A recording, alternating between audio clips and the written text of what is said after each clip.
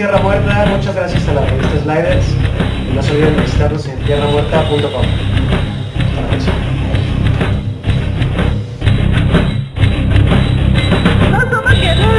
estudiantes, unos estudiantes que pueden ir y conocer personas sus hijos, somos la juventud.